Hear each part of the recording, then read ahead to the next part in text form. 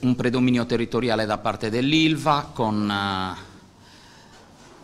molte situazioni da palla inattiva nate probabilmente da giocate superficiali da parte nostra, abbiamo concesso troppe punizioni dalla tre quarti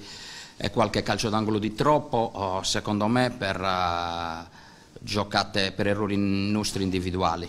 Non abbiamo corso però sinceramente pericoli importanti. La seconda parte della partita invece, come ho detto prima, mi è sembrata un po' più aperta come gara. La prima parte della partita l'ho definita sporca nella, nello spogliatoio dicendo appunto era una partita dove bisognava stare sul pezzo perché da un momento all'altro poteva nascere qualcosa, sia a favore che contro, perché queste partite quando sono così bloccate l'episodio può poi determinare la situazione. L'episodio ce l'abbiamo avuto noi a nostro vantaggio, eh, abbiamo fatto finalmente gol su palla inattiva, cosa che non ci riesce molto frequentemente. Questa volta invece siamo stati bravi, abbiamo rischiato di farlo pure dopo su un calcio d'angolo eh, con una palla che è stata spizzicata da Mancoso sul primo palo e poi invece eh, è andata nuovamente in calcio d'angolo. Poi è arrivato l'episodio del rigore, eh, credo che, che, sul rigore insomma, ne vediamo di tutti i colori durante, durante le trasmissioni sportive, oggi era una di quelle situazioni che probabilmente avrebbe scatenato un'infinità di discussioni anche a livelli più alti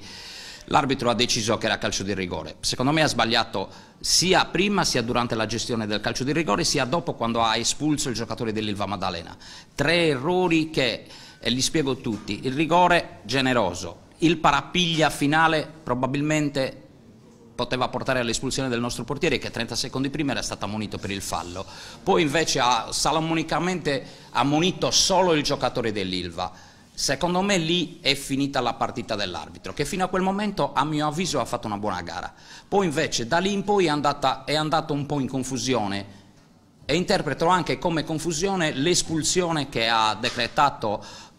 per farlo da ultimo uomo, che non capisco, nel senso che era un, un corpo a corpo che ce ne sono 150, se fosse stato fallo uh, per il difensore cosa avrebbe dovuto fare? Ammonire il mio giocatore perché il regolamento dice che non ti può espellere. Ecco, Secondo me lì è andato un po' in confusione. Peccato poi perché c'è stata una giocata importante di Matteo Mancosu che ha fatto vedere di che pasta è fatto perché è partito da centrocampo, ha, ha saltato tutti e poi ha peccato a mio avviso un po' di egoismo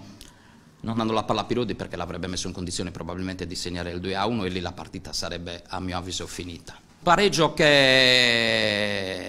che ci soddisfa, uh, sì, perché comunque siamo venuti a farlo in casa di una squadra, pur essendo neopromossa, sta facendo un campionato importante.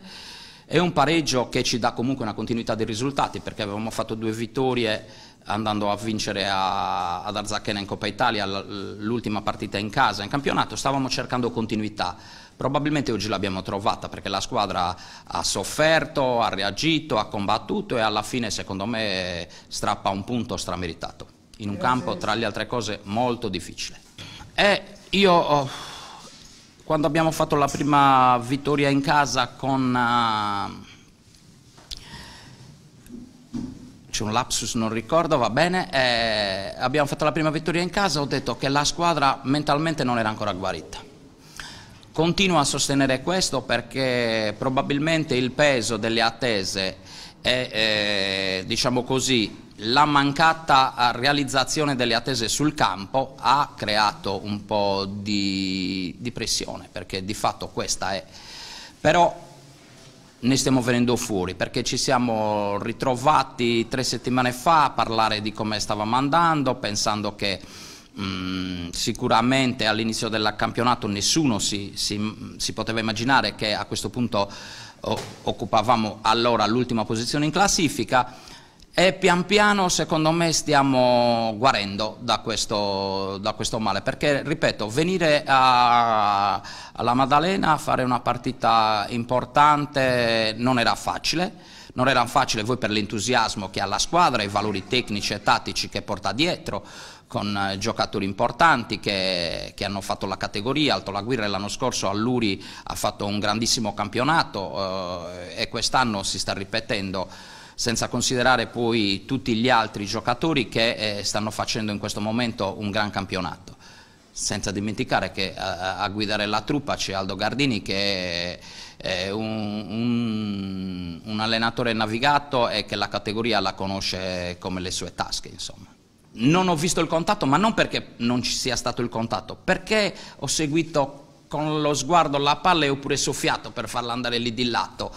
E quindi onestamente non ti so dire se c'è stato il contatto fortuito, se il contatto c'è stato, ho solo guardato e ho anche esultato come se avessimo fatto un gol quando ho visto che la palla era fuori. Poi mi sono accorto che ha fischiato e mi sono reso conto che era calcio di rigore solo in quel momento, però credimi non ho visto non ho visto il contatto, sono stato pure ammonito perché ho tenuto a bada il segretario che continuava a protestare e io chiacchieravo oh, cercando di, di, di spostarlo, è arrivato l'arbitro, ha ammonito a me, non c'entravo niente, infatti lì gli ho chiesto la spiegazione e la spiegazione dell'arbitro è stato è calcio di rigore perché non si è concretizzato il vantaggio. Vi porto una testimonianza eh, proprio testuale dell'arbitro infatti io a quella, a quella risposta ho, ho, chiesto, ma scusami, qual è il vantaggio dopo che il calciatore calcia? Avesse colpito il palo,